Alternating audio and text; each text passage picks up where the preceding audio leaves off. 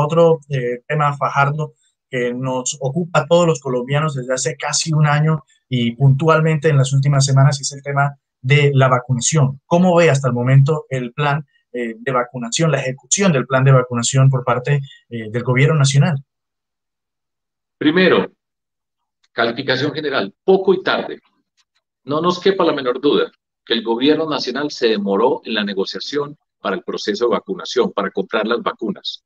Y eso no es simplemente una opinión, basta contrastar con otros países de América Latina que van adelante de nosotros y que por supuesto tiene un impacto muy grande. De esta pandemia, el principal factor para salir avante es que nos vacunen a todas las personas.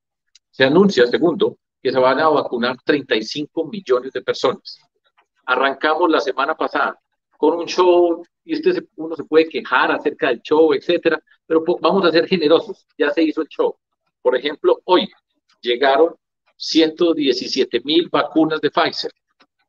El señor ministro de Salud explicó que Colombia, en su mejor condición, podía llegar hasta vacunar 100 mil personas en un día. Eso quiere decir que esas que acabaron de llegar se gastan en un solo día. Si vamos a vacunar 35 millones de personas, nos demoraríamos, haciéndolo perfecto, un año a partir de ahora. Y eso no está ocurriendo.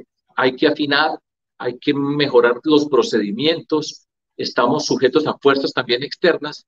Y quiero terminar de una manera positiva y decir, pongámosle fe a esto nos tenemos que vacunar. Mucha gente está sufriendo. Hay miedo de todo tipo en Colombia.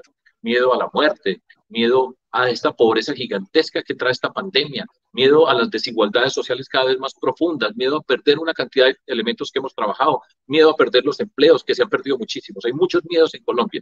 Entonces esperemos que esto funcione bien, pero repito, poco y tarde y hasta el momento vamos rezagados y no tendríamos que ir rezagados.